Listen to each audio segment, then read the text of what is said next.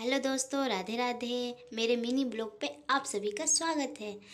हम आज जा रहे हैं बालाजी के मंदिर। तो मैंने सुबह उठकर सबसे पहले प्रसाद बनाया। प्रसाद में चूरमा, यहाँ पे चूरमा और दाल दाल बनती है। मेरी सासू माँ ने मन्नत मांग रखा था।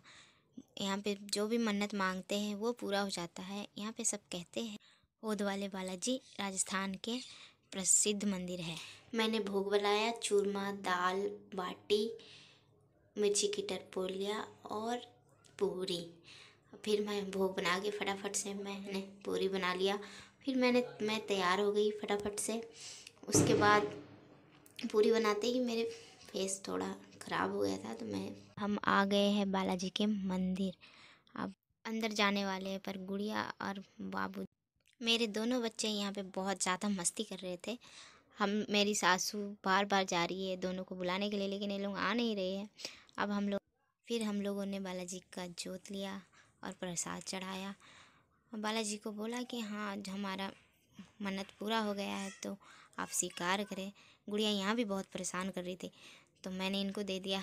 फिर इनके गोदी में भी नहीं टिकी तो फिर मैंने इनको, इसको मंदिर पे ही छोड़ दी घूमने के लिए। इन्होंने पंडित जी को दक्षिणा दी, लोगों ने सभी का आशीर्वाद लिया और हम लोगों ने शिव जी सींचा। अगर आप चैनल पर नए हो तो प्लीज़ चैनल को सब्सक्राइब करें, बेल आइकन को प्रेस करें लाइक करें, शेयर करें और नेक्स्ट वीडियो में मिलते हैं